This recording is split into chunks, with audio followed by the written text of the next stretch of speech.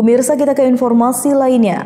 Dalam rangka mendinginkan situasi terkait permasalahan masyarakat terdampak aktivitas pertambangan di Desa Satui Barat, Kabupaten Tanah Bumbu, Sekretaris Daerah Tanah Bumbu menyambangi para korban Kamis siang.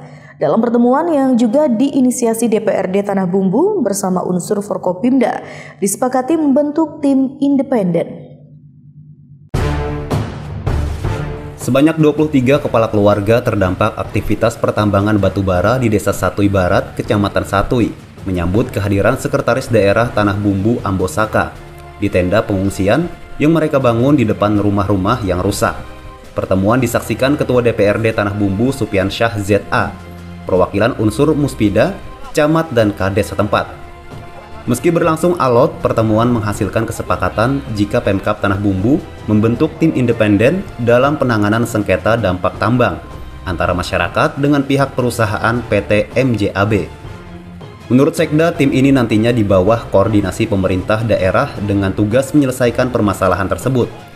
Tim akan mencarikan solusi terbaik untuk kedua belah pihak. Terkait sikap Pemkap atas keberadaan aktivitas tambang, Pihaknya hanya sebatas menyampaikan rekomendasi kepada kementerian terkait karena menjadi kewenangan pusat.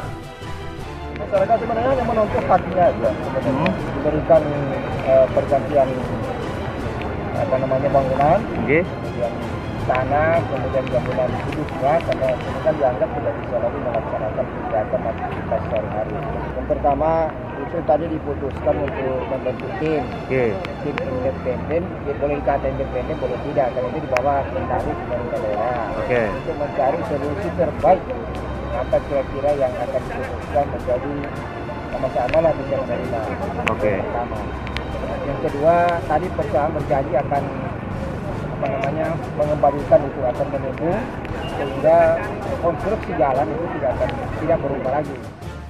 Sementara Arifin Nur Ilmi, perwakilan PT MJAB, mengaku pihaknya bekerja berdasarkan acuan dan kajian lingkungan serta dengan perizinan yang lengkap. Ia menjelaskan keberadaan IUP PT MJAB yang saat ini beraktivitas dengan titik lokasi terjadinya kerusakan jalan dan permukiman warga cukup jauh, yakni berkisar antara 200 hingga 250 meter.